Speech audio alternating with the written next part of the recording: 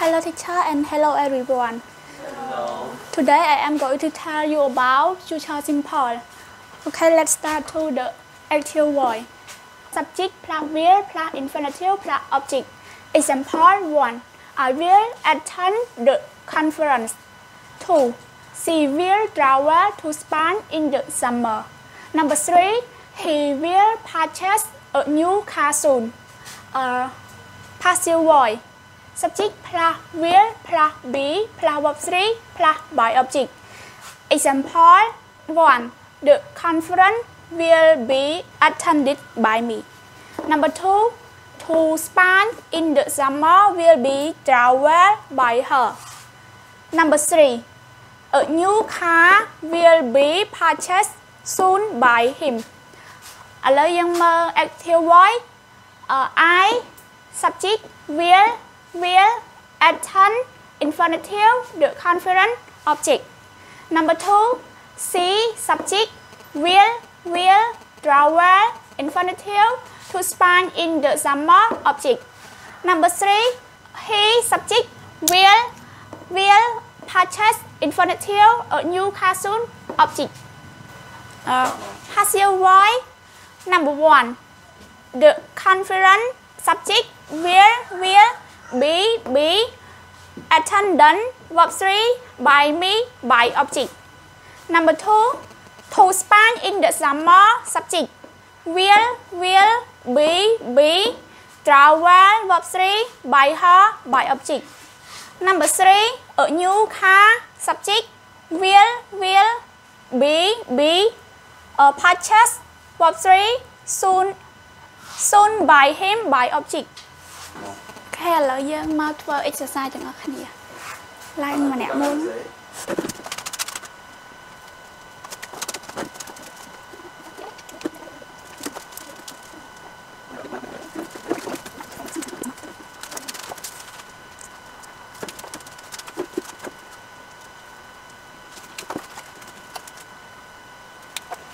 អូខេឥឡូវយើងកែលំហាត់ទាំងអស់គ្នាអឺ Complete use the future simple passive. Number one, a new house will be built by them. នឹងយើងដូរទៅ verb 3ថែមដូរពី D ទៅ T correct អោះខោច្រឡំ sorry ខោ click L អូខេអូខេ take វិញ Number two, my room will be cleaned by me. Correct. Number three,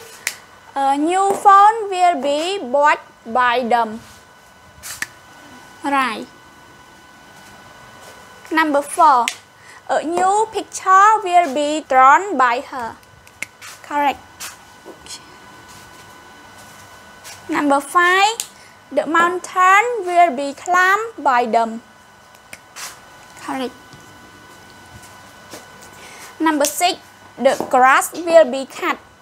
Correct. កន្លែងហ្នឹងយើងអត់មាន object ទេ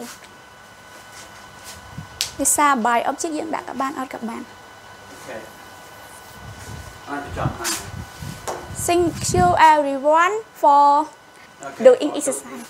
okay thank you មកឥឡូវយើងចាប់ផ្ដើមមើលឡើងវិញអញ្ចឹងថ្ងៃនេះយើងរៀនអំពីអានេះទម្រង់អីទម្រង់អីទម្រង់អី okay future simple យើងរៀនពីរទម្រង់ដដែលគឺ active voice ហើយនិង passive voice អានេះ subject plus will in infinitive object អូខេដល់នេះ subject will be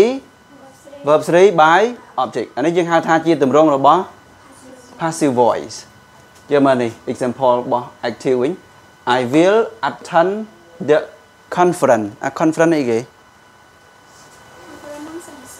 សន្និសីទឬក៏ការប្រជុំផ្សេងផ្សេងៗណាអឺអានេះជា sub subject អូខេអានេះ will attend នេះជា infinitive ចុះអានេះមិនត្រូវអញ្ចឹងណា យល់មើល number 2 C នេះជា subject will will នេះអត់មានដាក់ s ទេមែនទេមិនចឹងប្រើមួយ c ហ៎ហ៎ហឹមតម្រងគេចឹងហ៎អូខេ c will travel នេះជា infinitive to spend អានេះជា object ដល់ពេល in the summer នេះជា okay អានេះវាជា time expression អ number 3 he គឺជា okay will purchase okay a new car ជា object ដល់ពេល0នេះជា okay អញ្ចឹងអានេះពីរនឹងវាវាផ្សេងគ្នាតែពីម្សិលគ្រូរហនឹងអត់ឃើញមិនដឹងគ្រូថាសួរណាប្រហែលជាសួរទី2នឹងដែរប៉ុន្តែទទួលមិនភ្លៀងទៅណា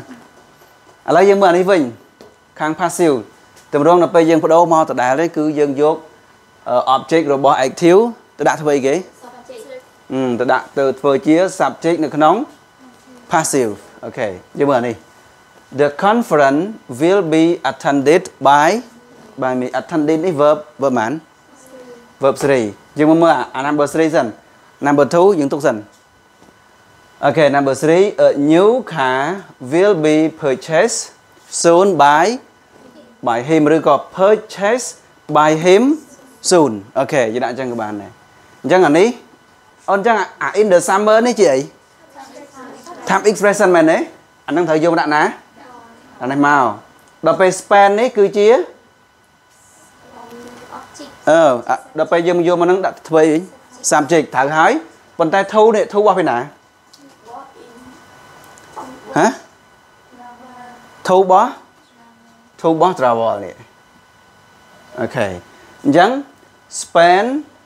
will be travel to by by her អានេះបើយើងចង់ទុក to អត់ដល់អញ្ចឹងទេបើយើងចង់ទុក to តែបើយើងដាក់ធម្មតា Spain will be travel by by me អា by her in the sum in the summer អូន okay វិញទៅ okay អញ្ចឹងមានន័យថា Spain will be travel by her in the summer អូន okay វិញអញ្ចឹងណាយើងបកមកមើលលំហាត់បន្តិចអូនលំហាត់យើងត្រូវអស់ហើយប៉ុន្តែគ្រូចាប់អារម្មណ៍នេះឥឡូវនេះមួយបោះពីណានេះ number 3ហ៎អូនណាវាលណៃនេះធំហ៎សេធំហ៎សេធំពេកអាហ្នឹងយើងប្រយ័ត្នអូនយរុំពេលអូនប្រឡងបាក់ដប់អី ខាតអាយើងការខាតអញ្ចឹងយើងគិតថាមិនអីខ្វិយកខ្វិយកយើងអត់ចាប់អារម្មណ៍ថាពេលណាប្រើធំពេលណាប្រើទូចដល់យើងទៅសេធំពេកគេគិតទៅរឿងសញ្ញាអីនោះទៅពេលណោះប៉ុន្តែអញ្ចឹងអាហ្នឹងយើងប្រយ័ត្នមកកុំប្រហែសពេលហើយបើសិនជាអូនអត់ប្រយ័ត្នពីពេលហ្នឹងទៅតែប្រហែសទម្លាប់ប្រហែសរហូតខាតរហូតប៉ុន្តែបានអញ្ចឹងអានេះវាជារឿងពិតតែអូនប្រហែសទៅហើយហើយមួយទៀតកន្លែងណាទេមិញ នេះអូនទៅសេ span នេះចឹងដែរ span យើងដាក់អក្សរធំធំតិចមកបង្កិចវាតិចមក span នេះ span អីស្គម stir យើងមើលអានេះអត់មានអត់មានខុសទេមិញកន្លែងនេះភ្លេចទេមិនខុសទេនេះភ្លេចមួយអូខេអានេះនេះ the grass will be cut បើសិនជាដាក់ដាក់ by object បានទេបានប៉ុន្តែដោយសារប្រយោគនេះ គេដាក់សាប់មកហើយអញ្ចឹងយើងក៏មិនបាច់ដាក់ដែរពេលដែលយើងធ្វើលំហាត់ណាតែបើយើងដាក់ by អីផ្សេងក្នុងករណីដែលប្រយោគគេ by អីផ្សេងហ្នឹងក៏បានដែរមែនទេ by her by him អញ្ចឹងទៅអត់ត្រូវអីអញ្ចឹងមកបើនេះចប់ហើយយើងចូលទៅតទៀតអរគុណអូនចឹងគ្រូសម្បត្តិកាមេរ៉ាសិន